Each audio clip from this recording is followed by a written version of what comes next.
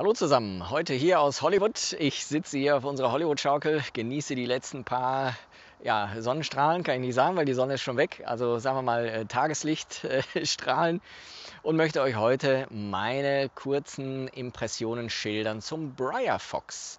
Der Briar Fox ist ein Crumble Cake, habe ich noch nie gehabt vorher. Ähm, und zwar besteht er aus Virginia und Burley. Hm? So so gut. Schauen wir mal, wie er sich so raucht.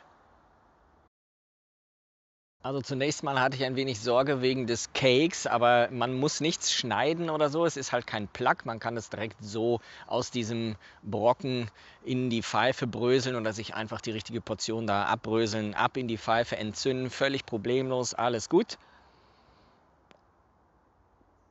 Auf der Dose heißt es ausnahmslos sanft, sanfte Virginias und Burleys und das kann ich genauso unterschreiben. Es ist tatsächlich ein unheimlich sanfter Blend.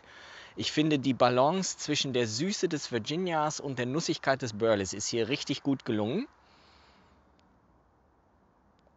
Was ähnliches habe ich bisher nur geraucht ähm, mit dem Dunhill Ready Rubbed, der natürlich um einiges hochpreisiger ist jetzt als dieser Tabak aber der ist von der Qualität her nicht schlechter.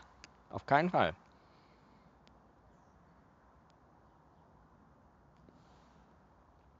Richtig schöner, unkomplizierter All-Day Smoke. Perfekt. Für Virginia-Liebhaber, für Burley Freaks. Klare Empfehlung. Besorgt euch eure Portion und genießt sie. Wir sehen uns. Ciao, Oye, eso.